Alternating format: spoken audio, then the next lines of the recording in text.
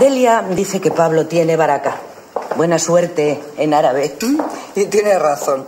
Ha nacido de pie. Si no, no me explico. Pues no creo que él piense lo mismo. A ella la cosen a tiros. Y a él poco más que un rasguño.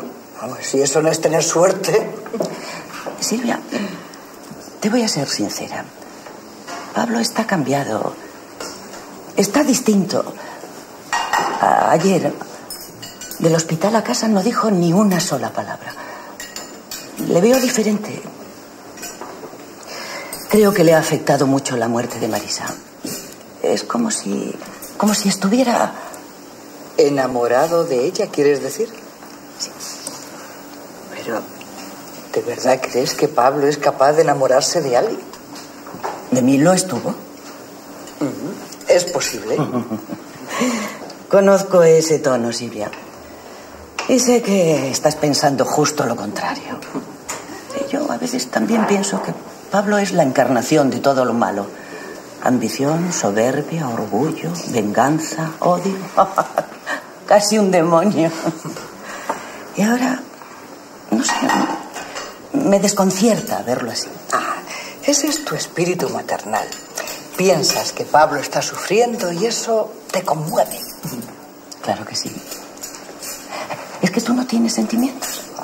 Lo que no tengo es duda de que Pablo está fingiendo, de que su melancolía es puro teatro. ¿Y por qué iba a hacer una cosa así? No tengo ni idea. Pero sí sé que Pablo no tiene sentimientos, que es incapaz de derramar una lágrima por nadie. Lo más que puede hacer es cabrearse porque alguien le ha roto su juguete nuevo. ¿Estás dolida o, o es que te ves reflejada? Porque él también para ti fue un juguete, como Roberto, que también te acostaste con él y le dejaste cuando te convino, rompiéndole el corazón. Vamos, Lucía. Sabes que Roberto fue algo más para mí. Pero no podíamos ignorar que nuestra relación no iba a ninguna parte. Y... Además, no estábamos hablando de mí, sino del retorcido de tu exmarido. Estás llena de odio. Y pienso que Pablo no tiene la culpa de todos tus males. ¿Eso crees? Sé que no soportas que te quiten tu papel de víctima, pero vas a escucharme bien lo que voy a decirte. Pablo no solo me robó mi empresa, haciéndome firmar un documento abusivo mientras estaba ingresada, sino que además he descubierto que los 100 millones que te dio como trato por tu divorcio, querida Lucía, eran míos, de construcciones Cerezo. ¿Y, y tú cómo, lo sabes? Las facturas y las cuentas coinciden tan exactamente que nadie lo dudaría. ¿No se te ocurrió preguntarte de dónde pudo sacar ese dinero de repente? Si todos sus fondos estaban fuera de España, escondidos e inaccesibles. No sé, pudo sacarlo de cualquier parte. Tenemos docenas de títulos de propiedad en el este. Eso solo demuestra lo ignorante que eres en asuntos de negocios. Eso es papel mojado, Lucía. Pablo escondió tanto todo su dinero que no podía pagarte a ti.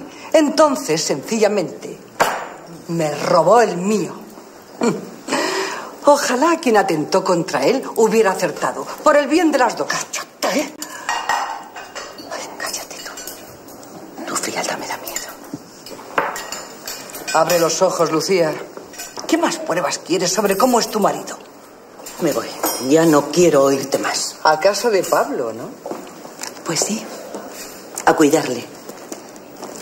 Creo que ahora me necesita de verdad. Se lo he dicho a Elena y te lo digo a ti. Para bien o para mal, aunque nos hubiéramos divorciado, Pablo será siempre mi marido. Claro, mujer. Hasta que la muerte os separe. Poco le ha faltado. Deja. Invito yo. Por cierto, ¿desde cuándo sabías que era tu dinero? ¿Qué estás pensando, Lucía? ¿Que fui yo quien ordenó el ataque a Pablo? Yo ya no pienso nada. Adiós. Lárgate, prefiero estar a solas que impotente a tus pies. No pienso arrodillarme a tu avaricia y tu sed, ni a los cutres desfiles de la frustración. Vete ya, ponte la minifalda y vete a petardear. Que a más de un gilipollas le podrás demostrar que tú eres la más golfa de la promoción. Chupando cámara, que excitación. Nena, qué pena me da. Por mí se te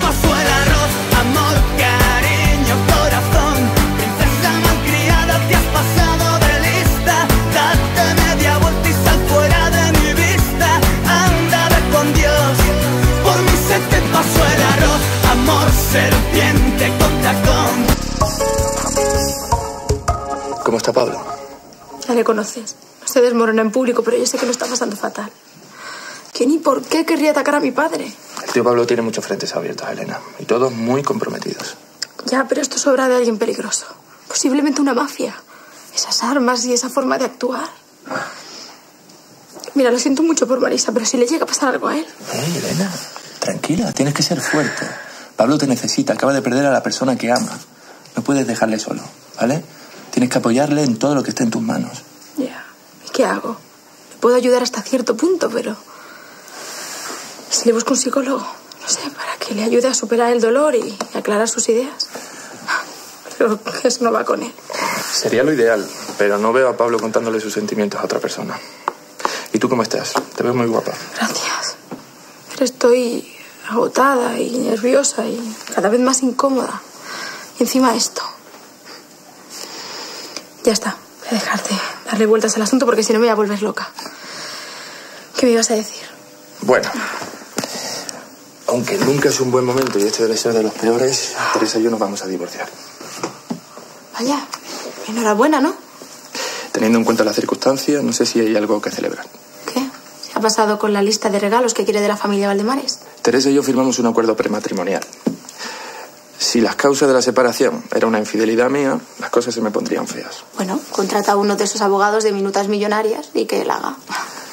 Precisamente por eso quería pedirte un favor. No me digas que necesitas dinero. No, no es eso. Es que si llega el momento, quiero que niegues que el hijo que espera sea mío. Es que no es tuyo, Miguel. Este niño es solo mío y de nadie más. Elena, no te lo tomes a mal. No estoy negando mi responsabilidad. Es un favor de cara al juez, porque está en juego la custodia de mis hijos. Y sin ellos no puedo vivir, Elena. Cuando decidí tener a este niño, nunca os pedí nada a los posibles padres. Elena, no te lo pediría si no tuviera el agua al cuello. ¿Eh? Se acercan tiempos revueltos y te voy a necesitar mucho. Está bien, pero estamos en el siglo XXI y la última palabra la tiene el ADN, Aunque seamos primos, aunque seamos primos.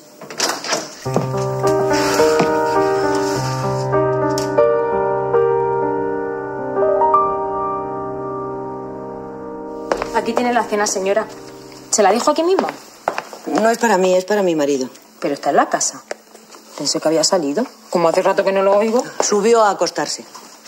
Tan temprano y sin cenar. Qué raro. Está un tanto raro. Pero no es de extrañar, lo sé por experiencia. Cuando a uno le intentan matar, se vuelve bastante huraño.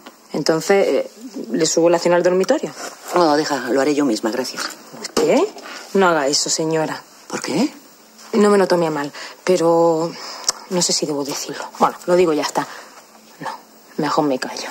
Bueno, venga. Di lo que sea. Está bien. Pues que cuando usted estuvo secuestrada, él no perdió el apetito, ¿verdad? Ni antes, cuando se paseaba por la casa como alma en pena. Le llevaba la cenita en una bandeja a la cama. Hala, ya está. Ya lo he dicho.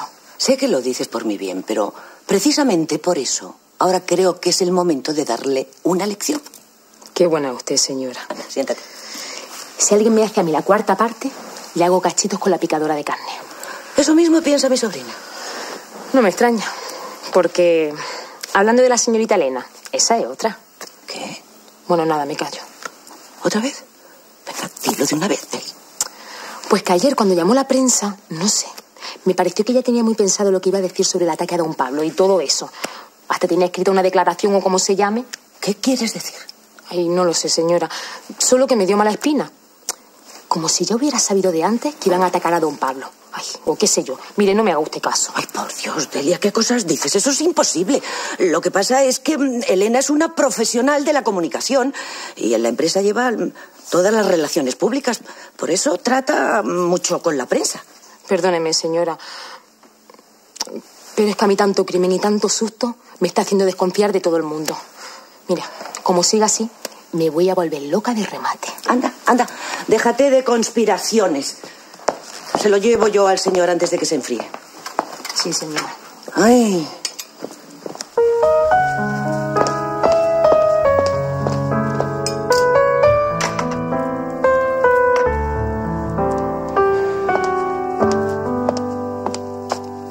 Trae, ¿Qué quieres, Lucía? darte de cenar. No tengo hambre. Nadie te ha preguntado nada. ¿Cómo dices? Que vas a cenar, quieras o no quieras. Además, no puedes estar tomándote ese analgésico para el dolor de la herida con el estómago vacío. Perdona. ¿Por qué haces esto? ¿El qué? Lo sabes de sobra. Traerme la cena, acomodarme los cojines. Son la misma cosa. Tumbado no puedes comer. Te he acomodado los cojines para que puedas cenar. No disimules. ¿Por qué me cuidas tanto de repente? Hace tan solo unos días querías quitarme todas mis empresas y te importaba un bledo verme en la cárcel. Tienes razón. Pero habría ido a cuidarte allí si te hubiera pasado algo. No te entiendo. Primero me odias, luego me cuidas. Mira, Pablo, puede que esté un poco desquiciada por, por todo lo que me has hecho, pero no se puede cambiar la esencia de un individuo y... Y ahora yo siento pena por ti, por Marisa e, e incluso por mí misma. Lucía, yo no... Estabas enamorado de ella Probablemente sí. y te pensabas casar. Sí. Ahora veo que la querías de verdad. Anda, com- come un poco. No entiendo cómo te lo puedes tomar así. Porque yo. Yo te quise igual, Owen. Y en cierto sentido todavía te sigo queriendo. Tuve miedo al pensar que te podía perder para siempre.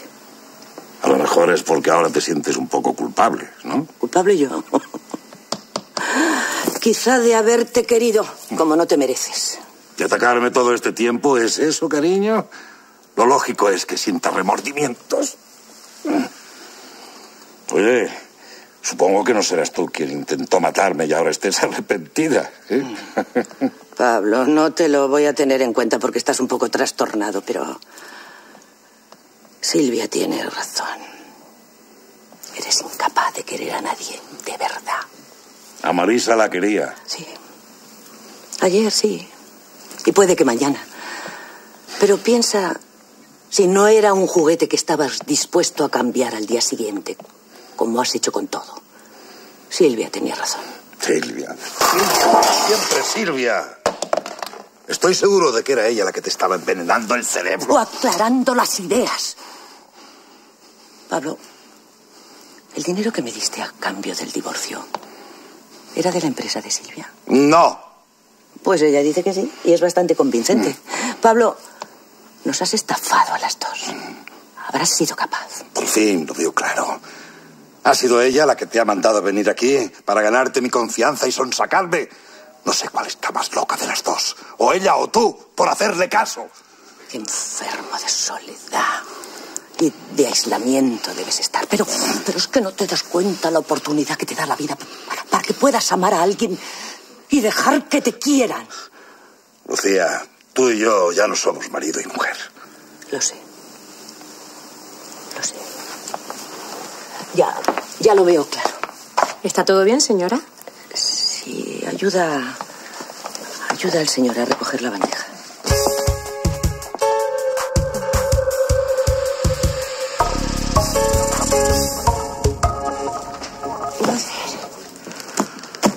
Laura, ¿me echas una mano? Claro. Está reparada, es solo llevarla a su sitio. ¿Qué? ¿Casi no pesa? Muy flojita te veo. Un poco sí. ¿Te encuentras mal? No, estoy bien. Solo que no quiero cargar pesos, eso es todo. Ya, claro. Lo mismo me pasa a mí cuando estaba embarazada. ¿Tú también? ¿Desde cuándo lo sabes? Nada, un par de días. Enhorabuena. Gracias. ¿Puedo yo también? Que me estoy poniendo celoso. Tú a lo tuyo, Ray, que no está el horno para bollos. Llévate esto a su sitio. Oye, que yo también estoy jodido, pero vamos, levantar un poquito el ánimo no nos vendría mal a ninguno. Ray. Vale, vale, yo lo mío. ¿Pero nos lo quieres decir? Si es que no lo sabe nadie, solo se lo he dicho a Roberto, a Elba y ahora a ti. ¿Roberto es el padre? Bueno, o Ray o Esteban, pues no lo sé. Joder, Marta, ¿tú también? Oye, la que esté libre de pecado que tire la primera piedra. Aquí en esta oficina hay un virus o algo. Sí, sí, algo. ¿Y por qué se lo cuentas a Roberto y no se lo cuentas a Ray? Porque no quiero que se angustie. Además es muy posesivo y se empeñaría en que el niño es suyo por narices. Vale, pero no es una cuestión de empeñarse, es una cuestión de que te hagas la prueba. Ah, quisiera hacérmelo antes del parto, ¿eh? ¿Tanta prisa tienes? Hombre, no me apetece estar durante siete meses dándole vueltas a la cabeza. Además que son futuros muy distintos. No sabes cómo te entiendo. Laura, que siento mucho que perdieras ese niño. Bueno, ya no tiene remedio. Ahora lo importante es cuidar de tu bebé. Igual a que dentro hay un futuro jefazo. Uy, calla. No sabes qué raro se me hace pensar que puede ser un Valdemares. ¿Pero por qué? En tu caso es de un Valdemares soltero. Y si fuera verdad, tendrías el futuro resuelto.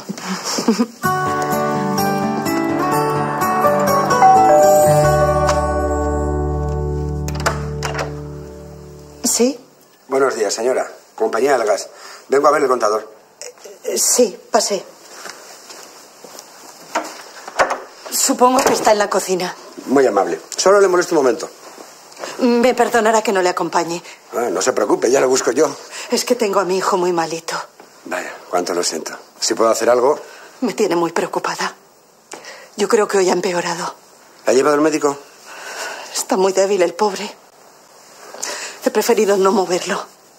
Si quiere, llamo al Samuri que vengan a verlo. No, no, no. Él tiene su médico. Tendría que llamarle, pero estaba un poco confusa. Verá, acabo de alquilar el piso. No encuentro el teléfono del centro de salud. Pues llame información, señora. Pregunte por el salud y le dicen todo lo que quiera. Sí, sí, pero es que con, con la mudanza no, no, no encuentro la tarjeta de la seguridad social. Ya. Mire, señora, si me permite la pregunta. ¿Está usted sola? ¿No tiene a nadie que le ayude? Soy viuda. Y tengo a dos chicos más con mi madre. Mire lo que vamos a hacer. Tengo un primo médico. Está en casa. Le llamo que se venga aquí a ver al chaval y le dice qué hacer. ¿Le parece? Se lo agradecería muchísimo. Yo, yo le pago la visita. Bueno, hombre, eso ahora no hay que preocuparse. Voy a llamarle. A usted le ha debido mandar la providencia.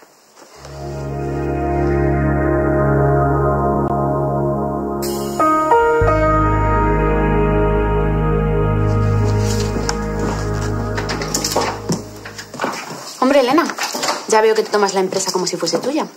Pasa, pasa, no te cortes. Vengo a hablar de tu divorcio. No creo que eso sea de tu incumbencia. Lo es desde que el apellido Valdemares está en juego. ¿No crees que ya has abusado bastante de él? ¿Del apellido o de Miguel? Porque en ese caso creo que tú me aventajas. Mira, Teresa, sé que estuviste con Gabor. Tonteaste todo lo que pudiste con él. Y si no acabasteis en la cama, cosa que de momento ignoro, no fue porque no lo intentases. Así que cuidadito con el argumento que utilizas contra Miguel, ya que tú has actuado igual o peor. No sé cómo no se le cae la cara de vergüenza enviando a su primita para defenderle. No, él no me ha enviado. Y si he venido a hablar contigo, es porque Miguel adora a sus hijos. Lo sabes tan bien como yo. Y me parecería penoso que los utilizases como arma en tu pelea matrimonial. Los niños verán a su padre cuando les corresponda. Pero nadie le puso una pistola en el cuello para firmar ese acuerdo prematrimonial. Él sabía lo que se exponía. Vas a castigar a tus hijos por tu afán de venganza. No soy tonta. Los niños necesitan a Miguel tanto como él a ellos. Y no pienso utilizarlo en contra de ninguno. Pero no le voy a escatimar a mis hijos el nivel social que les corresponde. Y de paso el que te corresponde a ti, ¿no? Ni que esto fuese la Fundación Valvares.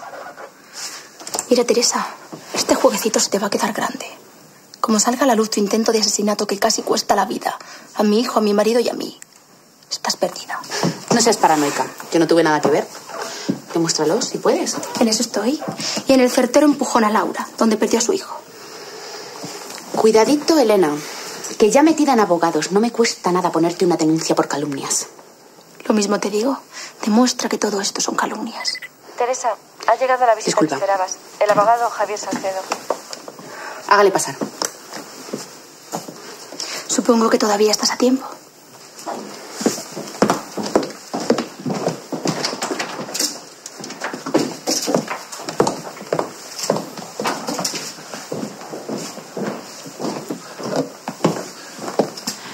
Gracias, Yolanda. No me pases más llamadas y cancela todas las citas. Siéntese, por favor. Hemos estado estudiando los detalles de la demanda interpuesta a su marido. No quiero pecar de optimista, pero creo que ellos tienen poco que hacer. Don Pablo, está aquí doña Silvia Cerezo. ¿Le digo que pase? No hace falta que me digas nada. Don Pablo no va a poder evitar. ¿Qué haces tú aquí? Quiero que me devuelvas todo lo que me has quitado. Silvia, este no es el momento. Para mí sí. A mí no me vas a conmover con tus desgracias. Yo solo quiero que me devuelvas los 100 millones que me has robado a mí para dárselos a Lucía. Tú deliras. No debían haberte dejado salir del psiquiátrico. Yo no tengo que darte nada. Tú misma me vendiste tu empresa. No, di mejor que tú me engañaste para que te la vendiera. Afortunadamente el juez invalidó ese documento. Ay, qué chapuza. Hasta un estudiante de primero de derecho lo hubiera anulado. Entonces, ¿qué quieres ahora? Ya tienes lo tuyo, ¿no? No me trates como a un imbécil, Pablo. Sabes muy bien que antes de eso te apresuraste a descapitalizarla. Ahora me queda poco más que las oficinas y los muebles. Me has esquilmado. Pero voy a hacer que esto se vuelva contra ti. Has salido con más odio del que entraste. ¿eh? Si quisieras hacer algo, ya lo hubieras hecho. Eso es lo que tú te crees. No voy a parar hasta que me devuelvas lo que es mío. Pues haz lo que te dé la gana, pero no vengas aquí a contármelo. Eres un canalla. Y ni siquiera lo que te ha pasado te ha hecho dejar de serlo. Quizá tengas que tener alguna desgracia aún mayor para que cambies. Esta parece que no te ha hecho escarmentar. Me estás amenazando. Tómalo como quieras. Pero yo que tú lo tomaría en serio. Porque yo no estoy bromeando. Si me entero que estás metida en todo esto, te mato con mis propias manos. Mejor, úsalas para contar el dinero que me tienes que devolver. Así es como tratas a las mujeres que alguna vez estuvieron en tu vida. Mira, a lo mejor morir no es lo peor que le ha podido pasar a Marisa. Te prohíbo que hables de ella. En tus labios su nombre suena inmundicia. No me decías eso. Cuando mis labios te recorrían todo el cuerpo. Lucía tiene razón.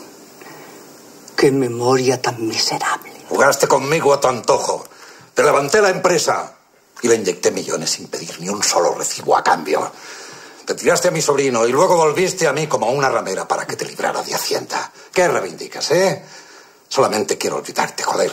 No vas a poder. Y tú lo sabes. Ninguna mujer te ha dado lo que yo. Pero mira, estoy dispuesta a desaparecer de tu vida a cambio de esos 100 millones. Si lo piensas, te salgo barata. Cariño, las mujeres como tú nunca resultan baratas.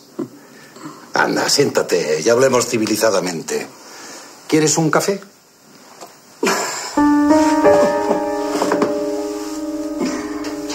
Creo que deberíamos retirar las cosas de la mesa de Marisa.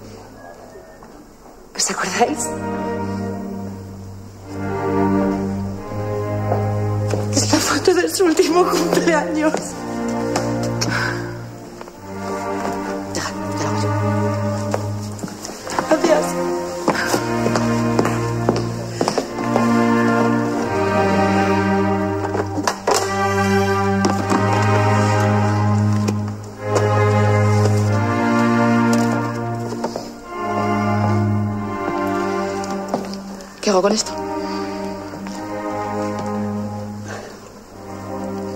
Se lo regalé yo hace años. No sabía que todavía lo guarda.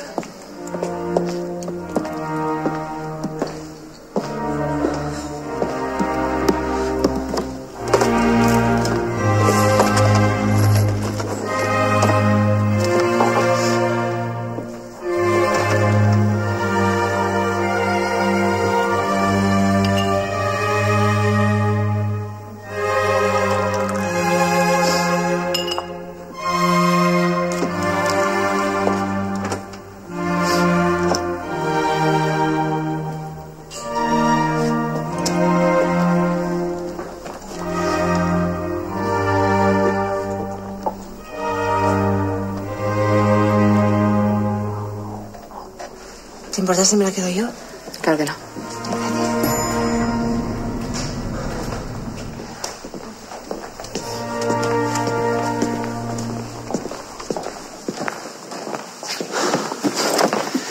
Qué rápido se puede borrar la memoria de los muertos. Oscar, lo siento.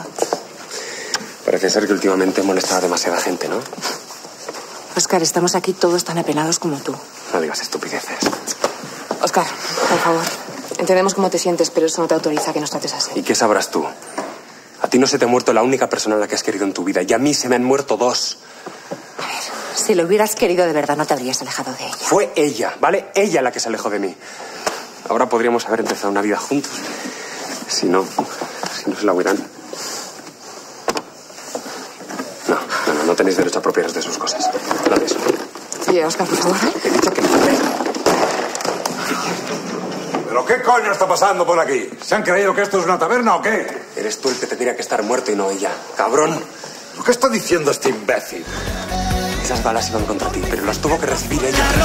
Está muerta por tu culpa, hijo de puta. Corazón, princesa malcriada, que has pasado